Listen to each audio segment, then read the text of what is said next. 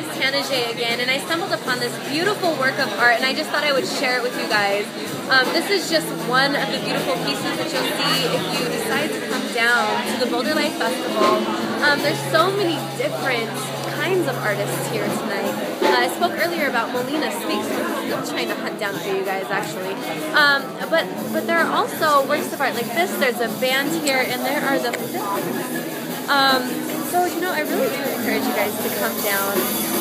Some amazing, talented people here. And, you know, as an artist myself, I get most of my inspiration by seeing other people's creativity and their passion come out in their art, whatever that is. And you know, we're all artists, we're all creators, we're all expressive in some way, even if it's singing in the shower.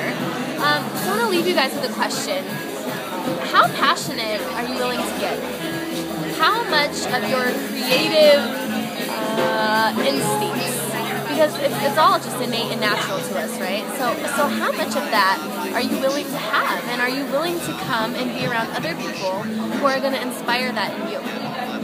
So I'll see you guys in the next one.